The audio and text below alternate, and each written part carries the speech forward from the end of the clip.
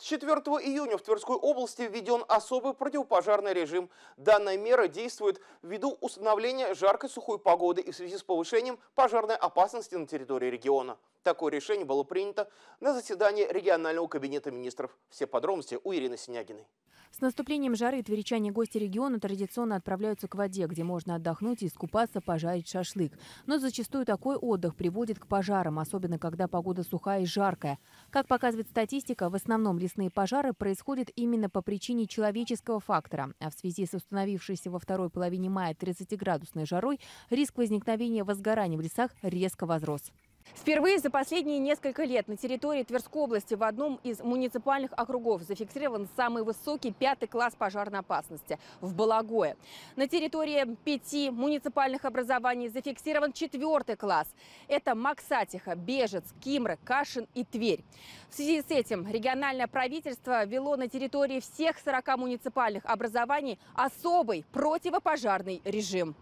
Он подразумевает полный запрет на использование открытого огня в лесах, розжиг костров, мангалов и жаровень, использование в лесах паяльных ламп и других приборов, а также курение. Нарушение правил влечет наложение административного штрафа на граждан в размере от 40 до 50 тысяч рублей, на должностных лиц от 60 до 90 тысяч, на юридических от 600 тысяч до миллиона. Ключевой вопрос – это э, противопожарная безопасность в лесах и на территориях населенных пунктов.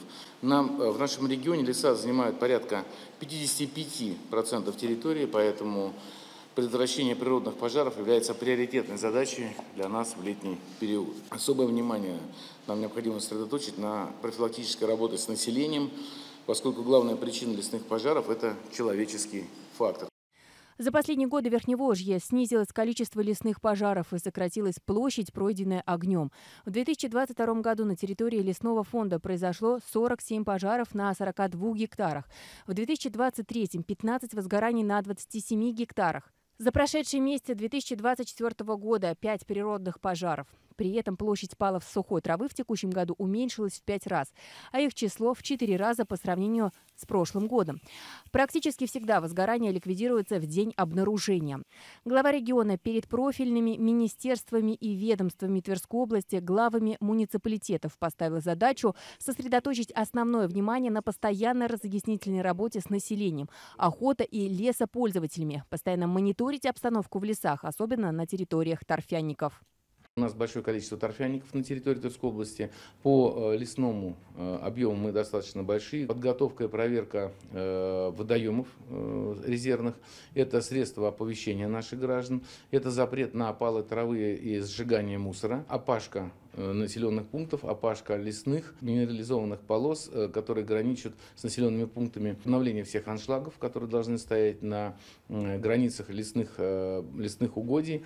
Еще одна важная задача – контроль за соблюдением требований об ограничении или запрете посещения лесов, запрете сжигания порубочных остатков. Отдыхать на природе, конечно, не запрещается, но разводить огонь разрешено исключительно в местах, специально для этого оборудованных.